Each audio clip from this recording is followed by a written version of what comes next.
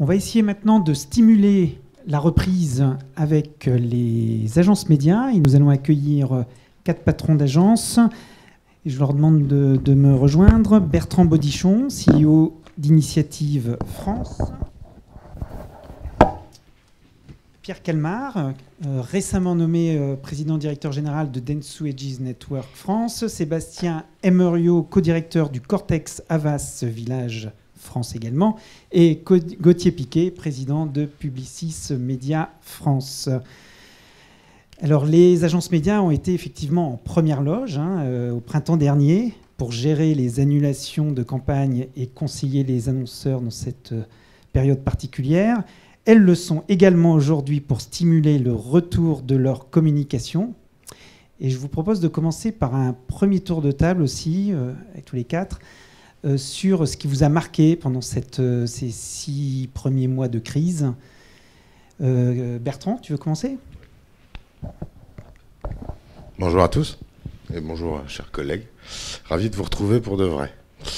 alors ce qui m'a le plus marqué, c'est on l'a déjà dit, la, et les médias l'ont souligné, c'est la formidable capacité de solidarité qu'il y a eu dans le triptyque euh, annonceurs, agences euh, euh, et, médias. on a tous trouvé des solutions et fait des miracles ensemble, et ça, ça laissera des traces durablement.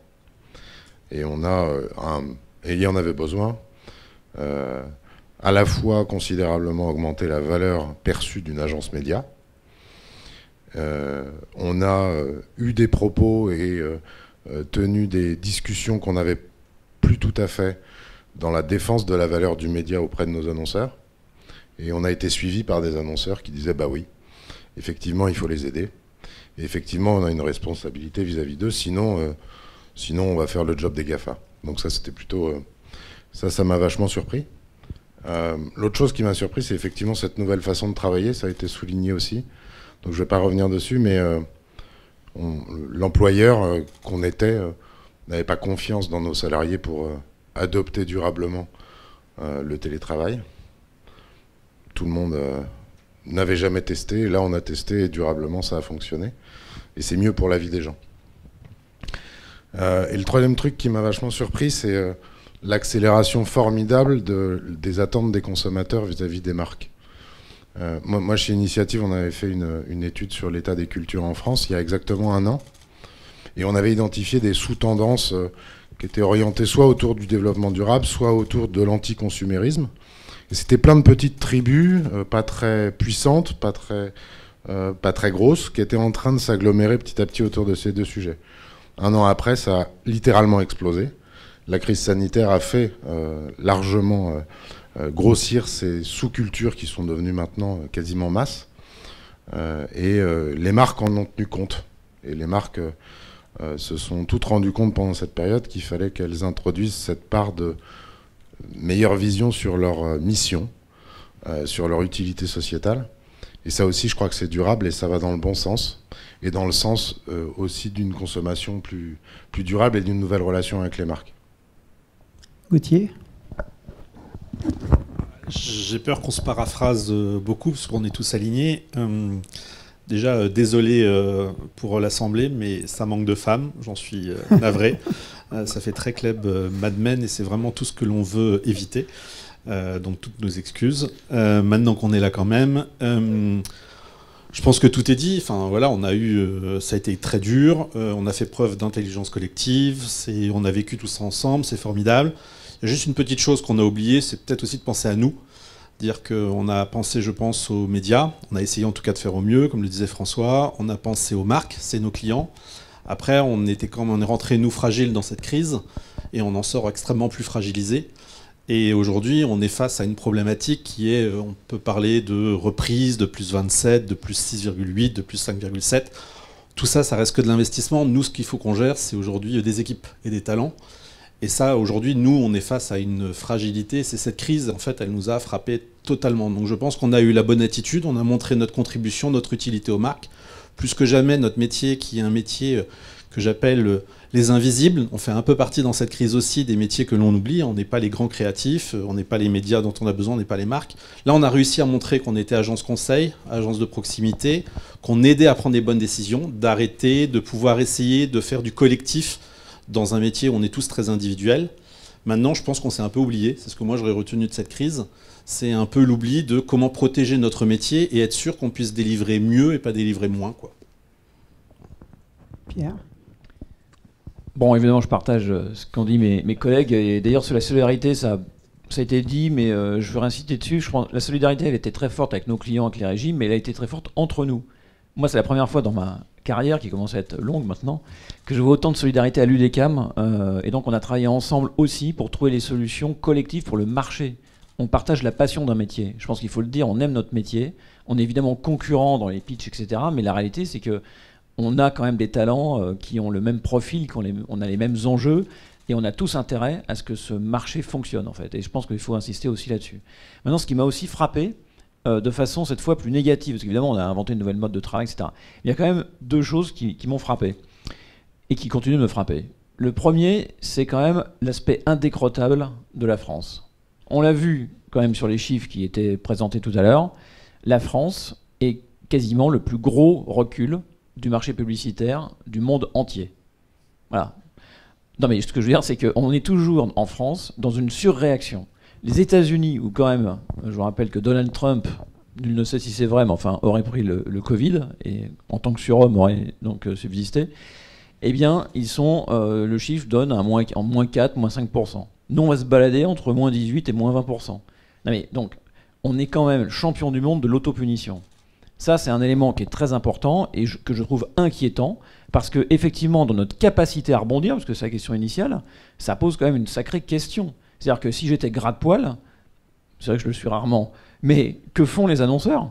Réveillez-vous parce que vous agissez de façon totalement délirante par rapport au reste du monde. Donc ça, c'est mon premier point.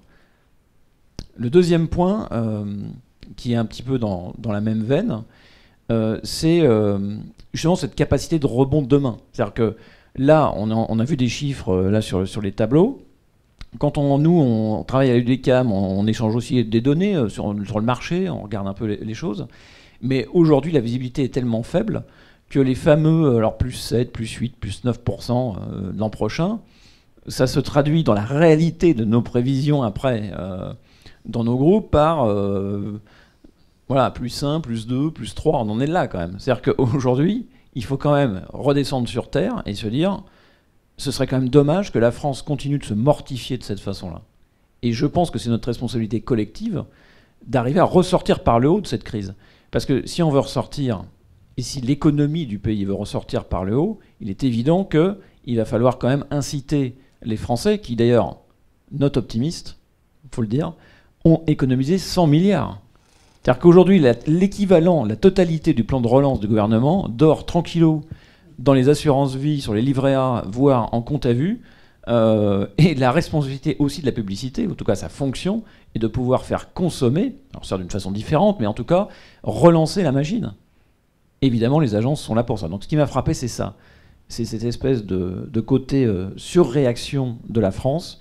Et je pense qu'à un moment donné, il faut aussi arriver à dépasser ce paradigme. D'accord. Eh ben, je vais donner la parole à Sébastien, mais on reviendra sur la surréaction et on verra s'il y aura surréaction dans l'autre sens. Sébastien euh, Oui, bonjour à tous. Alors, moi, je ne suis pas président. Euh, donc, en fait, ce qui fait que euh, moi, je, représente un collectif qui s'appelle le Cortex, qui est le, un truc un peu original, qui est le regroupement de toutes les études et planning stratégique de tout Havas. Donc Havas Paris, Havas Média, Havas Sport, enfin tous les Havas, on est regroupés, les planeurs et euh, les études. Et, ce qui nous a frappé, nous, en fait, euh, il y a un chiffre qui nous a frappé, qui est un, chiffre de Kantar Media qui est sorti assez rapidement euh, pendant la crise, pendant le confinement, on va dire, qui est le 8%. C'est-à-dire, seuls 8% des personnes interrogées souhaitaient qu'il y ait une diminution de la pub et donc de la communication pendant cette crise. Et nous, on s'est dit, mince alors, parce qu'on avait l'impression que le monde entier détestait la pub, on avait marre, c'est pas possible, les adblockers, tout ça. Et en fait, seuls 8%. Et, et c'était pas un chiffre tout seul, c'est-à-dire qu'on a vu d'autres chiffres après où on voyait les gens étaient contents qu'il y ait de la pub, que les marques leur parlent. Certaines marques ont manqué aux gens, donc nous ont manqué, à nous. Puis nous, vous savez, on a aussi une étude, on est un peu obsédé, c'est toutes ces marques qui pourraient disparaître et personne n'en aurait rien à faire. Alors on arrive à des chiffres assez dingues, mais, mais ce qui, moi, m'a marqué, c'est que pendant cette période-là, les marques et la pub ont comme retrouvé une forme de lettre de noblesse. Et si vous regardez même toute la période de confinement et même après, il y a eu assez peu de, de fautes de goût de la part des, marques et des annonceurs. Euh, chacun fait preuve d'empathie, euh, d'accompagnement, euh, de divertissement. Donc, moi, j'ai trouvé que pour notre métier à tous, et pour ceux pour quoi on se bat, c'était plutôt une note d'optimiste. C'est bien. Et, alors, quels sont les, médias? Donc, on a vu tout à l'heure la télé, la publicité extérieure, mais pour vous, quels sont les médias? Quels sont les leviers marketing qui s'en sortent pas trop mal, qui résistent le mieux à la crise? Gauthier?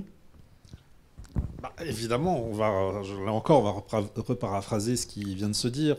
On a tous été, en fait, on a vécu deux temps. On a eu le temps de crise qui sont les médias de performance. Euh, et là, on a eu une accélération folle de tout ce qui pouvait encourager le commerce, le e-commerce et autres. Euh, donc, évidemment, euh, les GAFA ont, pu à un moment tirer une part belle. Après, quand je dis une part belle, attention quand même, tout le monde a vécu une crise.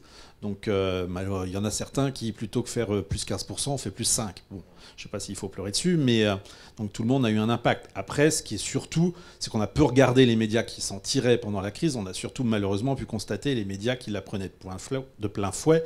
Et c'est vrai que tout à l'heure, l'expression on-off, elle est tout à fait vraie sur l'affichage et on l'a vu sur le cinéma. Alors, je ne sais pas comment le cinéma va faire pour aller.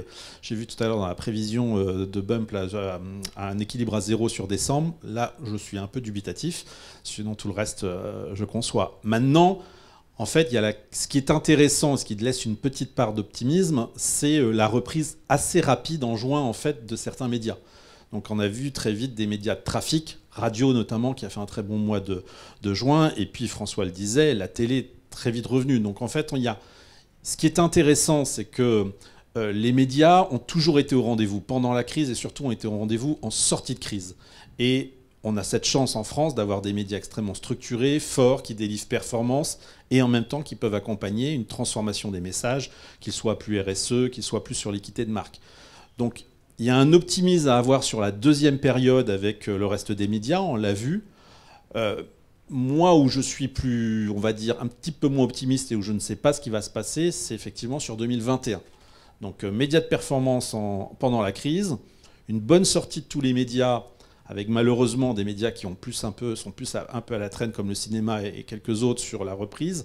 La vraie question, c'est comment tout ça va se stabiliser et est-ce que à un moment il va y avoir un vrai partage l'année prochaine de la contribution et de la reprise euh, et donc pas juste à un moment tiré par, euh, c'est vrai, il faut le reconnaître, par les GAFA.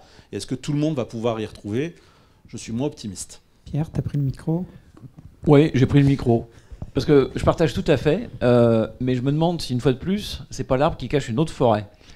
C'est-à-dire que, euh, bien entendu, on va tous dire, bah oui, euh, forcément, les médias de performance, donc les GAFA en première instance, proches du business des annonceurs, ont moins souffert parce que les annonceurs ont eu besoin de générer plus de business. Moi, j'y vois aussi une autre explication moins romantique et, et, plus, un peu plus sournoise, si je puis dire. Je pense aussi que les GAFA ont su créer quelque chose, il faut le reconnaître, c'est un écosystème simple. C'est-à-dire qu'il euh, y a beaucoup d'annonceurs, vous le savez, qui se sont dit à un moment donné, d'ailleurs c'est un autre sujet qu'on pourra aborder, mais je vais euh, récupérer en interne ce que finalement euh, nos agences font, mais je pourrais très bien le faire moi-même. Et l'un des premiers points qu'ils récupèrent, c'est la gestion forcément des GAFA. Et donc effectivement, donc la gestion de Google, Facebook, un peu en interne. Et effectivement, donc, quand vous êtes dans une crise comme ça, que vous coupez tout, bah, les équipes internes, ce qu'elles savent faire, c'est des GAFA. Donc ils continuent de faire des GAFA. Que ce soit plus efficace ou pas plus efficace, c'est pas si clair que ça, à mon sens. C'est simplement plus simple.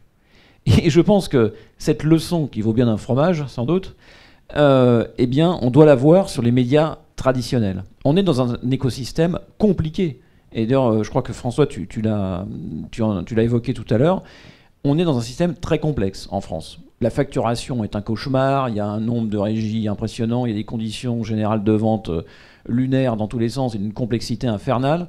Donc pour faire nos métiers, c'est compliqué. À un moment donné, il faut aussi évidemment, alors évidemment, on dit les GAFA, les méchants GAFA, mais ils font aussi des choses très bien. Ça, c'est quelque chose, à mon avis, qu'il faut avoir en tête et qu'il faut être capable de copier, simplifier la façon dont les flux euh, permettent effectivement euh, d'avoir une relation simple et qui fonctionne. Et je pense qu'on y a tout intérêt. Et pour clôturer donc en cercle ce que j'étais en train de dire, je pense que justement cette volonté de réintégration par les annonceurs, aussi de la maîtrise des leviers, à mon sens, prend un énorme coup dans l'aile parce qu'effectivement, à l'heure où il faut avoir des coûts variables, les transformer en coûts fixes est à mon avis une hérésie, point 1. Et point 2, gérer aujourd'hui de la communication, c'est gérer une, incroyable complexité. Et si vous ne faites pas appel à des experts, à des gens qui savent le faire, eh bien, vous simplifiez à l'extrême, vous concentrez vos investissements, et à mon avis, vous n'êtes plus efficace du tout.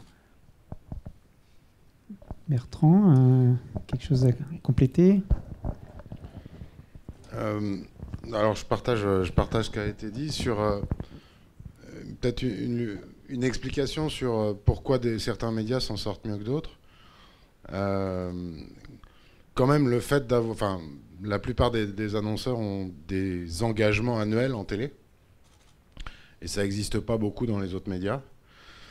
mécaniquement, ça a aidé beaucoup euh, la reprise des investissements, en tout cas la priorisation de la télé dans la reprise des investissements depuis le mois de juin.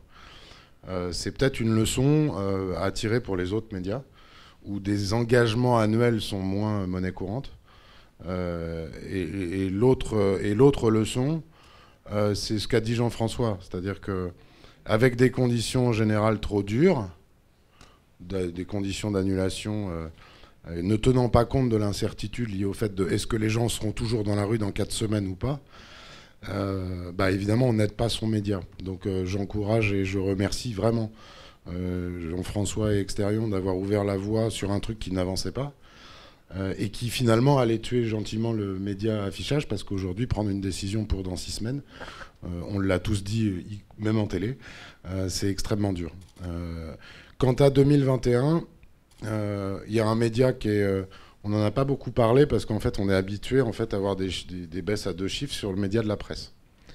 Puis à la limite, on n'en parle même plus parce que c'est presque un fait acquis. Euh, je, pense que ce mouvement dont je parlais tout à l'heure de reprise de sens dans, le positionnement des marques, dans l'expression d'une vision et dans l'expression d'une mission plutôt que simplement de montrer ses produits, peut être favorable euh, à des médias de contenu comme la presse, j'y crois. Euh, ça commence à se voir d'ailleurs dans les premiers briefs que je vois sur 2021. Et je pense que c'est bien, et et ça, serait formidable qu'effectivement l'affichage digital prenne son rôle aussi dans cette partie-là, parce que ça va être, en tout cas c'est ce que je constate, une demande croissante chez nos annonceurs en cette sortie de crise. Donc pour résumer, engagement annuel oui, mais souplesse euh, hebdomadaire. Oui. Alors, si, je prends moi aussi ma, casquette, un consommateur, je suis assez d'accord avec. Euh, on a tous discuté avec des proches hein, qui nous disaient Mais oh là là, mais avec tous ces gens devant la télé, ça doit être dingue, vous devez euh, faire un paquet d'oseille. Ben non. Et, c'est là que c'est assez dingue, c'est que l'être humain est, fait de telle manière qu'il veut se divertir, qu'il veut apprendre des choses, qu'il veut s'informer. Donc on consomme des médias, on en consomme de plus en plus. Et, ce qui est assez dingue, je ne sais pas si c'est lié à la France, mais cet écart qu'il y a entre l'attention qu'on porte euh, à ces médias et la façon dont c'est monétisé. Euh, il faudrait qu'on se penche collectivement sur, sur ce sujet-là. C'est quand même un, problème. Et c'est vrai que si on se met d'un point de vue consommateur, on arrive à se dire, bah, finalement, est-ce que euh, le contenu est intéressant? Est-ce que le contexte est favorable? Est-ce qu'il me parle à moi? Et après, ces trois contextes, contenus et autres, n'importe quel média peut y arriver. Rebâtir son business model, retravailler sa data, retravailler sur ses contenus, sa ligne éditoriale, on peut imaginer que n'importe quel média est capable de le faire. Donc c'est pas évident, c'est pas simple, mais en tout cas, quand on a quelque chose qui, part d'une appétence naturelle des audiences, on est, on est quand même déjà euh, bien loti, je trouve. Un rapide tour de table là sur le feeling euh, d'aujourd'hui. Comment vous sentez les annonceurs pour la fin d'année? Plutôt euh, très prudent, euh, plutôt volontariste? Bertrand? Si, Je commence. Euh, bah, si, je parle de ce que je connais, il y a cette, depuis le mi-septembre cette espèce de spectre, alors qu'on était reparti sur un Q4 normal. Donc moi, en tout cas, je constatais pas d'effet de reprise. Sauf sur un client sur l'ensemble de notre portefeuille. Tout le reste, c'est on revient juste à la normale. Donc la même chose que l'année dernière. Et il y a cette menace d'un reconfinement potentiel depuis 15 jours, qui sur les médias difficilement annulables et qui sont dans la rue, euh, font peser euh, une incertitude forte. Donc on ne s'engage pas sur de l'affichage, sur de la fin de l'année, parce qu'on ne sait pas si on sera dans la rue dans 15 jours. Et on s'engage du coup plus, et on, arbitre au profit plutôt de la télé, comme je le disais tout à l'heure, ou de médias plus facilement réactifs comme la radio, parce qu'on peut l'annuler plus facilement si jamais euh, un reconfinement devait arriver. Mais je vois pas d'effet de rattrapage du tout des euh, moins 20, euh, moins 30 qu'on a connus en avril-mai. Pas du tout. On revient juste à un Q4 normal. Et pour 2021, c'est l'une des raisons d'espérer. Le peu de visibilité qu'on a, en tout cas dans les briefs qu'on reçoit, c'est pas du tout. Alors je suis moins optimiste que France Pub, en tout cas quand je regarde nos chiffres. Euh, c'est plutôt on fait la moitié du chemin qu'on a perdu, en gros. Donc si on a perdu moins 24, on fait plus 12, mais pas plus que ça. Sachant que 12 n'est pas la moitié de 24 en pourcentage en plus. Pierre? Oui, non, effectivement, euh, je suis d'accord avec Bertrand. Il y a une énorme incertitude aujourd'hui. Enfin, je crois qu'on peut tous dire ça. Nul ne sait ce qui va se produire. C'est exactement comme euh, avec la chloroquine ou avec. vous voyez ce que je veux dire euh, personne ne le sait, c'est ça la réalité. Et donc effectivement, on navigue à vue. Donc là, déjà, moi, j'ai du mal à prévoir la réalité de l'atterrissage de cette année, déjà. Euh, et comme vous tous, j'ai mon groupe sur le dos à me dire, alors on va finir à combien, mais j'aimerais le savoir. Donc c'est très très dur. Et l'année prochaine, effectivement, pour l'instant, on fait une hypothèse de dire on va regagner éventuellement la moitié de ce qu'on a perdu. Euh, mais sachant qu'on va même pas construire les budgets comme ça, parce que, parce que même ça est extrêmement incertain. Donc c'est vrai que là-dessus, on est quand même en zone de, risque très important. Et d'ailleurs, c'est amusant parce que quand tu poses la question de dire bah, que vont faire les annonceurs, déjà, moi, je considère que les annonceurs, c'est pas les annonceurs. Quand je pose la question aux directions marketing, en gros, on est dans une tendance, on va dire un peu back to normal, normal moins. Mais si on pose la question au-dessus, euh, on n'est pas du tout dans la même lignée. C'est-à-dire que la réalité des choses, c'est que peut-être que les directions euh, de communication vont dire bah voilà, on veut, voilà notre ambition, et qu'au niveau de la direction générale, on dira ok, c'est sympa, mais euh, la tête du business, c'est ça, et donc euh, voilà ce qui va se produire. Donc, à mon sens, ce sont les indicateurs macroéconomiques qui vont aussi clairement être, être en jeu là-dessus, et c'est pourquoi d'ailleurs on est dans ce paradoxe incroyable. La communication doit contribuer, la publicité doit contribuer à relancer l'économie. C'est ça que l'on doit faire. Et quand je vois justement l'État aujourd'hui essayer de réguler, surréguler une profession qui est déjà hyper régulée, la plus régulée au monde, je m'inquiète et je m'interroge. L'État devrait au contraire faciliter la publicité au maximum pour relancer l'économie. C'est là où je pense qu'il y, a un problème de, de se touche euh, quelque part. C'est pour vous réveiller un peu. Euh, non, oui, pour répondre à la première, je pense qu'on est tous alignés. Euh, après, ça va quand même dépendre, il faut avouer aussi des secteurs. Dire que Q4, euh, ne nous mentons pas, on est tous en train d'espérer de faire un bon Q4. Euh, et d'essayer de faire un minimum zéro, voire pour certains qui ont la chance de travailler plus sur des secteurs comme le retail, comme l'alimentaire, d'essayer de faire bien. Maintenant, la question, c'est est-ce que le consommateur, je suis comme Pierre, ce n'est pas une question de marque ou d'annonceur, c'est est-ce que tout simplement le consommateur, demain matin, il va sortir? Est-ce qu'il va aller en magasin et acheter un produit? Après, les marques, elles s'adapteront sur euh, le consommateur. Donc là, on est en train tous à un moment de serrer les fesses, faut avouer, à se dire est-ce qu'il va continuer à sortir et euh, de prendre le risque d'aller dans un magasin. Mais logiquement, on est quand même plus optimiste sur euh, le Q4 et on espère tous, sauf pour ceux qui malheureusement travaillent sur le voyage tourisme, plus de luxe et l'automobile c'est compliqué. Voilà, on espère un, bon truc. Après 2021, euh, franchement, on a toutes les raisons d'y croire. on peut essayer 6, 7, 8, 9 si vous voulez, et toutes les raisons de fermer boutique. Et fermer boutique, c'est, euh, pour ce que dit Pierre, euh, c'est euh, d'abord ces régulations complètement aberrantes, mais tout le monde en a parlé. Alors visiblement, on en a une de moins depuis ce midi, grâce à Pierre. visiblement, la loi orphelin, c'est un ancien projet maintenant. Il nous en reste encore quelques-unes devant. Mais moi, je suis désolé, je vais revenir sur un sujet, c'est que depuis tout à l'heure, on parle à un moment d'investissement dans les médias, on parle d'investissement sur les marques, mais à un moment, il faut bien quand même un acteur qui est utile qui a montré toute son utilité pendant cette période, c'est les agences. C'est qu'il va falloir à un moment s'assurer aussi que les agences puissent continuer tout le monde a dans sa tête les faits que les agences, ça gagne énormément d'argent, ça va bien, etc. Mais les agences, elles travaillent cette crise. Quand on voit moins 27%, ou nous, on dit à peu près moins 15%, donc c'est-à-dire sur notre métier, moins 1,2 milliard d'investissements médias, on est encore payé juste à un moment sur de l'investissement publicitaire, ou pire, on est payé sur la baisse du coût GRP des médias. On est payé sur de la productivité, à faire de la productivité quand les médias s'assouplissent. Donc on est en train tout simplement de mourir. Donc le point, il n'est pas juste de se dire est-ce qu'on va faire des grandes présentations à se dire de l'investissement l'année prochaine? La question en fait, c'est est-ce qu'on aura des acteurs pour juste driver de l'efficacité pour les clients? Est-ce qu'on va être payé à un moment enfin à délivrer de la valeur pour les marques et pour les médias? Ou est-ce qu'en fait on est payé à faire un auto-suicide des médias? C'est ça la vraie question en fait pour 2021. Moi 2021, le marché sera beaucoup mieux si tout simplement tout un écosystème vit bien. Si l'écosystème à un moment il n'est que d'un écosystème de rapaces qui en fait attendent la mort d'autres. Nous, en fait, on participe à la mort des médias. Nous, notre job aujourd'hui, c'est de, de faire baisser le coût GRP des médias. Et on est payé pour ça. Donc pour moi, 2021, la question de 2021, c'est que la France, elle peut changer si tous ensemble, on va pouvoir à un moment dire stop et de reconstruire ensemble. C'est-à-dire effectivement défendre l'investissement de nos annonceurs, parce que c'est notre job, c'est notre rôle, et c'est de faire que ça délivre plus de valeur pour eux mais une valeur qu'on va retrouver partagée pour les médias. On est agence média, on n'est pas juste agence, on est agence média.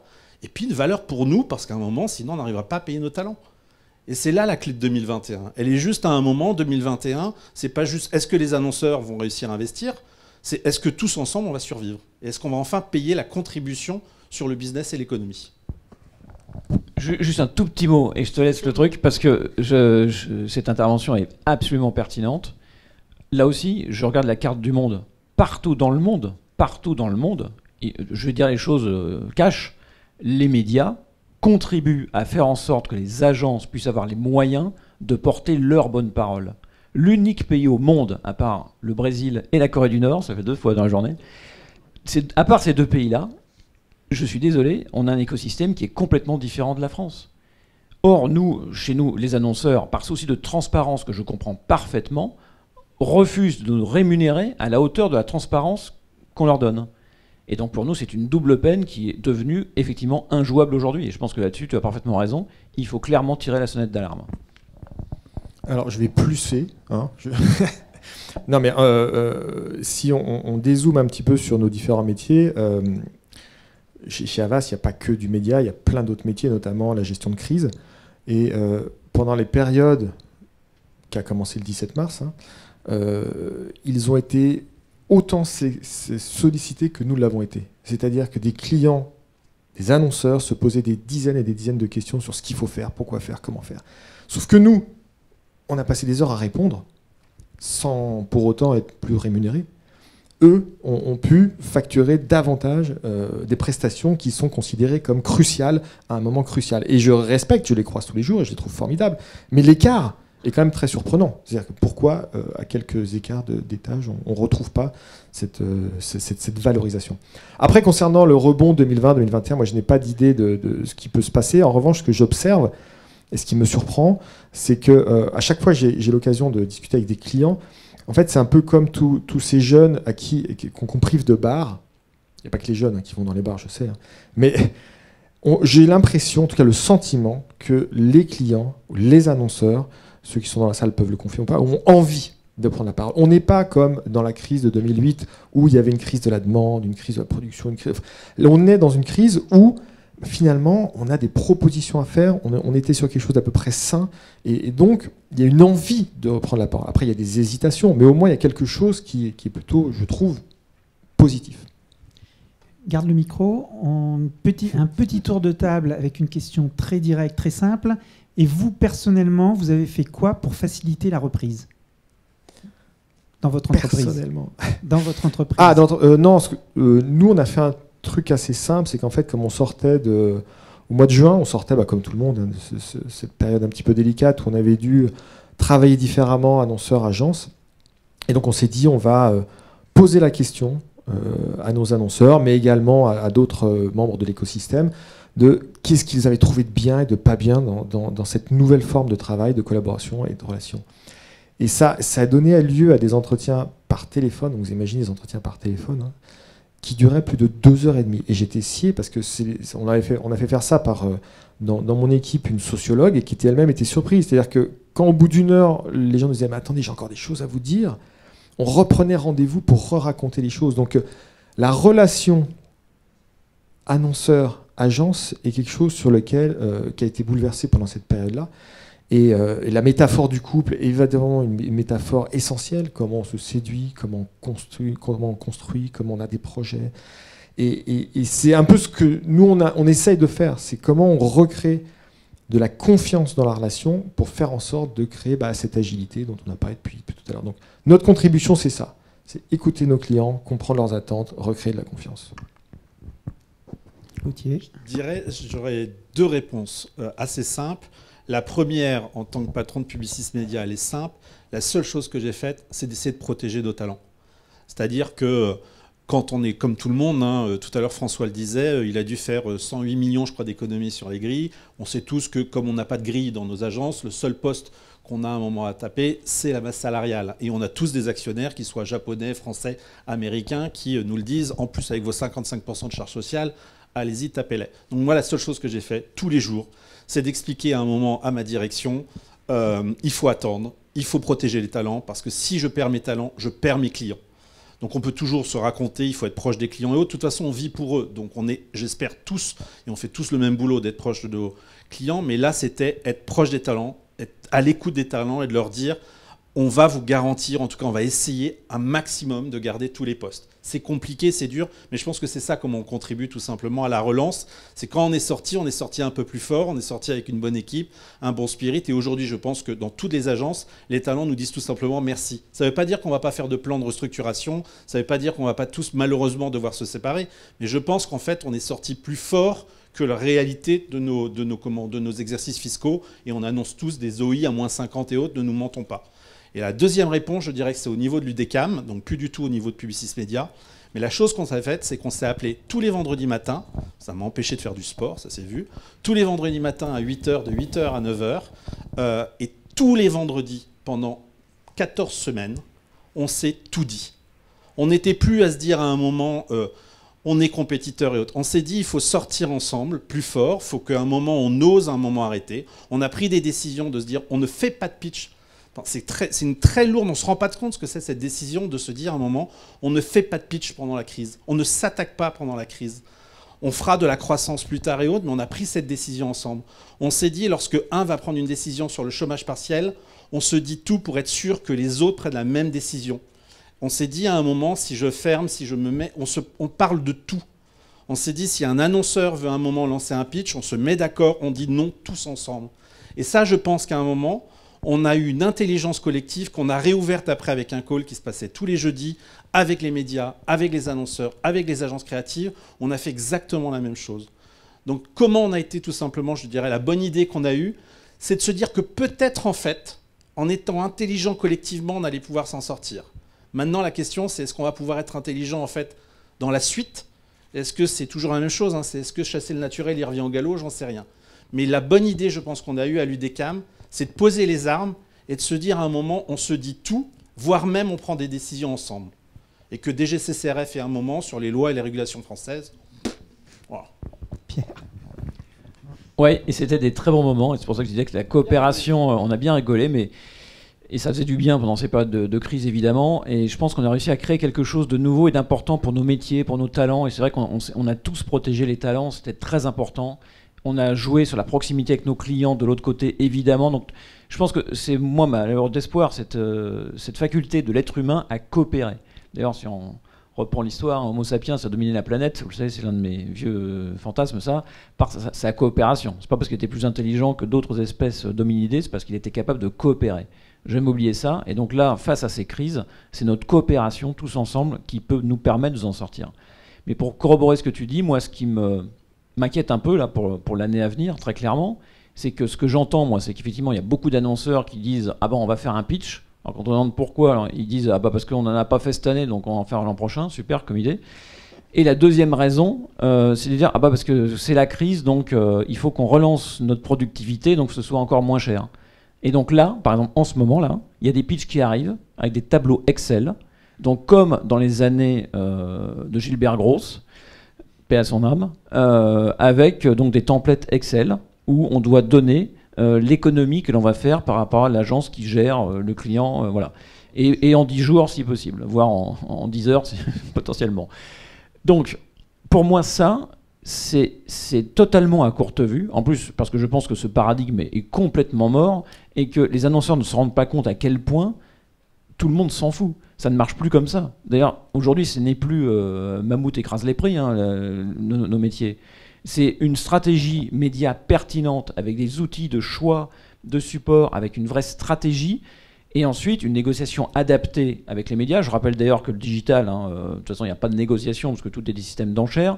Et que justement, c'est l'un des points qu'on travaille, notamment, je regarde TF1, mais avec les autres, pour justement dans les médias dits traditionnels, avoir aussi ce type d'approche. La télé segmentée est déjà un premier exemple de ce que l'on va pouvoir faire, un mode d'achat qui va être complètement différencié, où la valeur n'est plus dans j'achète en gros et je revends au détail, hein, qui je rappelle est illégal depuis 1993, mais où la valeur ajoutée est totalement différente. Elle est sur l'idée, sur la faculté à créer de la valeur et de la performance grâce à une bonne stratégie. Et c'est là-dessus qu'il faut qu'on arrive euh, à ressortir par le haut uniquement sur des plans de productivité qui, pour moi, aujourd'hui, je vous le dis avec mon cœur, si j'étais annonceur, ça n'a plus aucune raison d'être. Ça n'a même plus aucun sens. Je vais économiser 3 euh, millions parce que je vais euh, écraser encore plus les médias. Mais refaire la même chose avec 3 millions de moins, ok, super, euh, c'est bien dans un tableau Excel, mais est-ce que c'est ça le plus performant? J'en suis pas du tout persuadé. Dans la majorité des cas, il faut juste changer son mix média, appréhender les choses différemment et avoir une logique différente. Là aussi, les GAFA ont beaucoup à nous apprendre parce que eux ne subissent jamais ces pressions parce que précisément, il n'y a pas de négociation. On va bientôt conclure. Tu voulais rajouter quelque chose sur ce que vous avez fait? Euh, Rajouter, non. Euh, effectivement, on a tout fait pour euh, garder le maximum de talent possible, même s'il y en a qui sont partis, parce que c'est la première source de notre, de notre redémarrage et notre décollage. Euh, et que la première façon de les rendre fiers et, heureux de faire ce qu'ils font, c'est de refuser d'y aller sur les pitchs dont on parle. Euh, et c'est ce qu'on a fait aussi, pour assurer un redémarrage meilleur pour nous, meilleur pour leur morale, et qui s'épuise pas sur des trucs, euh, des, appels d'offres qui ne seraient orientés que là-dessus. Donc on a fait des choix forts. même si on a des objectifs de croissance à atteindre, on a avant tout des objectifs de bonheur à rendre. et euh, euh, et, c'est important pour sauvegarder leur emploi et leur qualité de vie qu'on sache aussi dire non. Et effectivement, la communauté des agences s'est euh, beaucoup plus parlé ces derniers temps grâce à cette crise, continue à le faire. Moi, je ne suis pas dans les, dans les grands calls de, de l'UDECAM, mais plutôt directement dans la commission trading. Donc même au niveau des traders, on continue à le faire, à s'échanger des trucs qui, quand moi j'étais président de l'UDECAM, c'était même pas envisageable qu'on le fasse. Euh, et fuck la DGCCRF aussi, mais effectivement, euh, euh, la sortie et la reprise de valeur, elle, passe, elle passe par là, parce qu'on est aussi là pour protéger la valeur des médias. Allez, on doit conclure. Vous avez 15, 15 secondes chacun pour nous donner une raison d'espérer en la reprise, une bonne nouvelle, un, bon, un signe positif. bonne nouvelle, c'est qu'on sera forcément en croissance l'année prochaine. forcément. On ne sait pas de combien. Euh, euh, l'autre, euh, l'autre bonne nouvelle, c'est la solidarité qu'on a soulignée depuis le début de, cette, conférence, c'est qu'on sortira durablement plus fort et ensemble, et un peu plus conscient des problèmes des uns et des autres. Vous avez été très dur sur la vision des, annonceurs, sur la contribution des agences. Moi, je suis quand même un peu plus optimiste, et je trouve que la valeur perçue, surtout quand on commence à leur dire non, la valeur perçue euh, dans leurs yeux s'est améliorée. Et c'est forcément euh, meilleur pour la survie, euh, voire pour, la, le, pour, pour, pour le, le, gain de notre profession. 15 secondes, Pierre. Parce que je parle trop. Bah non, je vais être très rapide. Justement, c'est l'optimisme, c'est l'énergie qu'on a tous ici. C'est ça, moi, qui fait que je me lève le matin. On a la pêche, on veut s'en sortir. Et point très important, jamais le monde n'a eu autant besoin de communiquer. C'est une réalité, tout le monde l'appelle de ses voeux, on doit communiquer, on veut communiquer, il y a toujours plus d'outils. Donc nos métiers, on doit juste évidemment changer, évoluer, mais le fond de nos métiers reste plus que jamais fondamental pour la suite. Euh, bah, moi, l'espoir aussi, il est du fait qu'on a constaté un petit peu par l'absurde, mais que euh, la publicité avait un impact. Elle avait un impact. Et d'ailleurs, elle a tellement d'impact qu'on veut la couper. Donc c'est qu'elle a un impact. Donc si la publicité a un impact, bah, et que les marques ont envie de se développer, bah, utiliser davantage la communication et la publicité. Et enfin, en 15 secondes, effectivement, je dirais, euh, je, suis, très optimiste parce qu'on n'a jamais vu autant d'utilité euh, et, de contribution de nos métiers. C'est pour ça qu'on est si enragé sur la loi orphelin, l'ex-loi orphelin. C'est pour ça qu'on est si enragé sur, sur de démontrer notre utilité face à la Convention citoyenne. Donc, euh, le seul, je dirais, pour moi, la grande lueur d'espoir, c'est il faut garder l'intelligence collective qu'on a eue tous ensemble. On n'a jamais aussi bien discuté avec des annonceurs, et vraiment, il faut leur en remercier pendant cette crise. On n'a jamais aussi bien discuté avec les agences créatives, discuté avec les médias. Donc on a compris que collectivement, on avait un rôle à jouer. Ça serait bien que le 1er janvier, juste, on s'oppose plus dans nos rôles. On continue à construire et qu'on s'écoute. Et pour ça, les États généraux, j'espère, vont vraiment apporter des réponses. Donc voilà, donc je suis optimiste parce qu'on s'est donné des rendez-vous, on attend des actes forts, une charte fondamentale. Et puis espérons que le 1er janvier, eh bien, on soit euh, tous sur cette charte fondamentale et pas remplir les tableurs Excel euh, que Pierre vient de nous décrire. Espérons. Merci à tous les quatre. Merci à tous les intervenants et rendez-vous l'année prochaine pour des, des chiffres positifs.